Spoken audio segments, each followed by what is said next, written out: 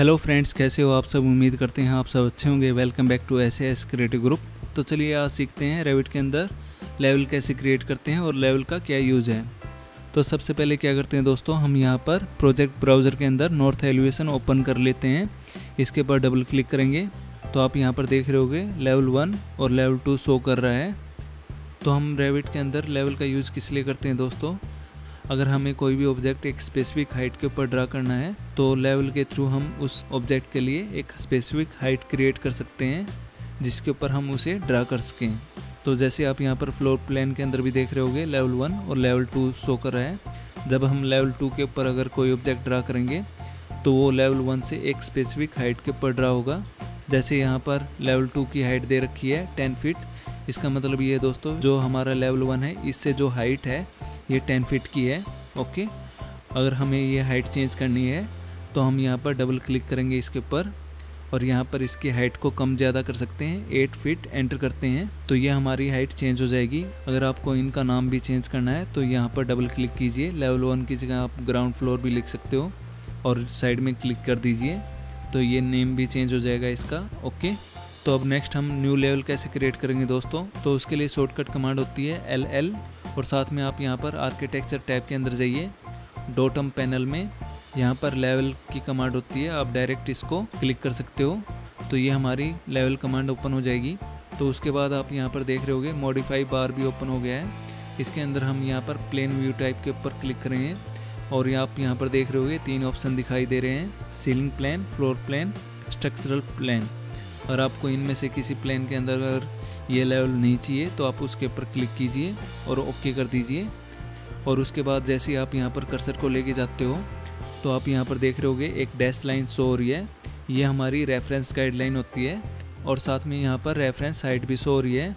जैसे हम कर्सर को मूव करेंगे तो ये हाइट भी चेंज होती जाएगी।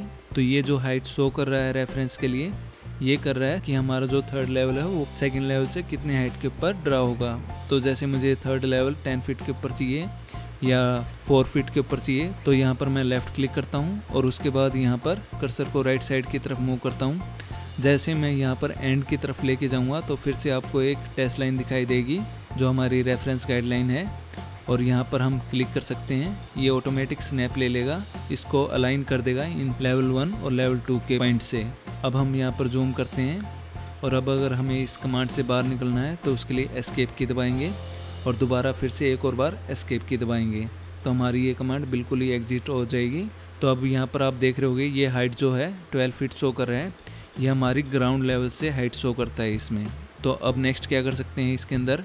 तो जैसे आप इसको सेलेक्ट करोगे तो आप यहाँ पर देख रहे होगे, एक टिक मार्क का ऑप्शन है। तो जैसे हम यहाँ पर टिक मार्क के ऊपर क्लिक करते हैं तो ये बबल को हाइड कर देगा। और वापस ये टिक मार्क के ऊपर क्लिक करते हैं तो वापस शो कर देगा। तो अब यहाँ पर आप देख रहे होगे, एक छोटा सा ब्रेक पॉइंट दे रखा है। ये किस लिए दे रखा है दोस्तों? जैसे यहाँ पर लेवल थ्री और लेवल टू बिल्कुल नज़दीक नज़दीक है। अगर आपको लेवल थ्री का टेक्स्ट थोड़ा ऊपर लेके जाना है तो आप यहाँ पर इसके ऊपर क्लिक कीजिए। यहाँ पर इसके ऊपर क्लिक करने के बाद इस पॉइंट के ऊपर लेफ़्ट क्लिक को दबाए रखिए और इसको मूव कीजिए ऊपर की तरफ़। तो यहाँ पर इन दोनों टेक्स्ट के बीच में गैप आ जाएगा दोस्तों। और अगर आपको इस लाइन को वापस ही डिफ़ॉल्ट के ऊपर लेके जाना है तो वापस ड्रैग कर लेंगे और यहाँ पर इसको लेफ़्ट क्लिक को छोड़ देंगे। तो ये हमारी लाइन वापस ही उसी शेप में आ जाएगी। अब उसके बाद में नेक्स्ट क्या है? जैसे मैं यहाँ पर सेलेक्ट करता हूँ तो आप यहाँ पर एक लॉक का आइकन भी देख रहे होगे। तो ये लॉक का आइकन किस लिए दोस्तों? आप यहाँ पर डैश लाइन देख रहे हो। ये तीनों पॉइंट को अलाइन कर रही है। जब हम यहाँ पर इस पॉइंट को ड्रैग करते हैं, इस तरफ़ तो आप देख रहे होगे यहाँ पर ये हमारे तीनों लेवल एक साथ मूव कर रहे हैं। अब अगर हम इस लॉक को अनलॉक कर देते हैं और यहाँ पर मैं इसको मूव करता हूँ इधर की तरफ़ तो यहाँ पर सिर्फ़ लेवल थ्री ही मूव कर रहा है। ओके यहाँ पर कंट्रोल जेड कर लेते हैं या इसको वापस ही मूव कर लेंगे। तो अब नेक्स्ट हम यहाँ पर इसको सिलेक्ट करते हैं। अगर हम इसकी कॉपी करते हैं यहाँ पर डायरेक्ट यहाँ से कॉपी कमांड लेंगे और यहाँ पर हम इसका बेस पॉइंट ये दे देते हैं। मूव कर लेते हैं इसको ऊपर की तरफ़, यहाँ पर। तो ये हमारा लेवल फोर तो क्रिएट हो गया। मगर आप यहाँ पर देख रहे होगे फ्लोर प्लान्स के अंदर सिर्फ़ level one level two level three दिखाई दे रहे हैं। मगर लेवल फोर यहाँ पर शो नहीं हो रहा। तो इस लेवल फोर को इस लिस्ट के अंदर लेके आने के लिए हमें क्या करना पड़ेगा दोस्तों? यहाँ पर बबल का कलर भी देख रहे होगे ब्लैक दिखाई दे रहा है। यहाँ पर बाकी सब बबल ब्लू हैं। हम यहाँ पर व्यू टैब के ऊपर चलेंगे। और यहाँ पर क्लिक करेंगे। अब यहाँ पर प्लान व्यू के ऊपर क्लिक करेंगे। यहाँ पर ड्रॉप डाउन में काफ़ी सारे ऑप्शन आ जाएँगे। अब इसमें सबसे पहले फ्लोर प्लान के ऊपर क्लिक करते हैं। तो आप यहाँ पर देख रहे होगे, जो हमने कॉपी किया था, सिर्फ़ वो लेवल यहाँ पर दिखाई दे रहा है। अब यहाँ पर हम सिर्फ़ ओके कर देंगे। तो ये लेवल फोर हमारा इस लिस्ट के अंदर आ जाएगा और यहाँ पर न्यू टैब ओपन हो जाएगी लेवल फोर की। इसको क्लोज़ कर देते हैं। और साथ में अगर हमें इस लेवल को सीलिंग प्लान के अंदर भी अगर लेकर आना है तो वो कैसे लेकर आएँगे? व्यू टैब के ऊपर चलते हैं वापस प्लान व्यू प्लान व्यू के अंदर यहाँ पर रिफ्लेक्टेड सीलिंग प्लान का ऑप्शन रहता है, इसके ऊपर क्लिक करेंगे और यहाँ पर ओके कर देंगे और यहाँ पर क्लोज़ तो ये हमारा लेवल फोर इस लिस्ट के अंदर आ गया दोस्तों। और यहाँ पर जो हमारा ब्लैक कलर था बबल का, ये भी हमारा ब्लू हो गया है। ओके फ्रेंड्स तो अब नेक्स्ट हम यहाँ पर इसको सेलेक्ट कर लेते हैं। एडिट टाइप के ऊपर चलते हैं। तो यहाँ पर इसकी कुछ बेसिक प्रॉपर्टी दी हुई है। तो सबसे पहले यहाँ पर एलिवेशन बेस है। एलिवेशन बेस हम यहाँ पर प्रोजेक्ट बेस पॉइंट ही रखेंगे, जो कि हमारा डिफ़ॉल्ट रहता है। अब नेक्स्ट ऑप्शन है यहाँ पर लाइन वेट का। इससे दोस्तों हम यहाँ पर जो हमारी लाइन है, इसकी थिकनेस को इंक्रीज़ कर सकते हैं। जैसे आपको अगर फाइव थिकनेस चाहिए तो यहाँ पर फाइव सेलेक्ट कर लीजिए। ओके अब यहाँ पर अगर इसका कलर चेंज करना है तो आप यहाँ पर क्लिक कीजिए। यहाँ पर कलर भी चेंज कर सकते हो।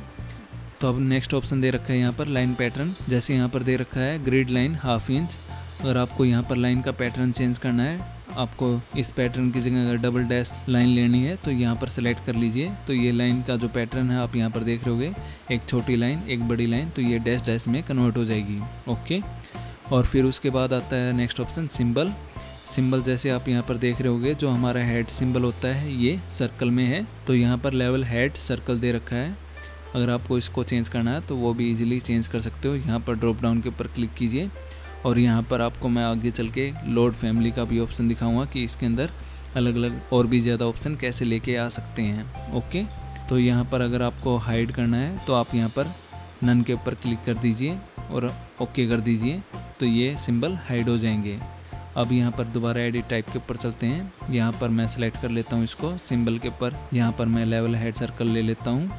और उसके बाद जो नेक्स्ट ऑप्शन दे रखा है symbol at end one default अभी आप जैसे देख रहे थे यहाँ पर हमारे जो सिंबल थे, वो राइट साइड में थे। अगर आपको लेफ़्ट साइड में भी सिंबल चाहिए तो आप यहाँ पर क्लिक कीजिए और ओके कर दीजिए। तो हमारे दोनों तरफ़ ये सिंबल आ जाएँगे। ओके एडिट टाइप के ऊपर दोबारा चलते हैं। और यहाँ पर सिंबल एट एंड टू दे रखा है। यहाँ पर भी आप अनटिक करके अगर इनको हाइड करना है तो हाइड कर सकते हो। तो ये हमारी कुछ बेसिक प्रॉपर्टी थी। ओके फ्रेंड्स आई होप आपको ये वीडियो समझ में आई होगी। Thank you so much and दोस्तों, अगर आपको हमारी वीडियोस पसंद आती है तो प्लीज़ आप हमारे चैनल को सब्सक्राइब कीजिए लाइक कीजिए हमारी वीडियोस को और अपने दोस्तों के साथ शेयर कीजिए। Don't worry be happy keep smiling forever tata bye bye thank you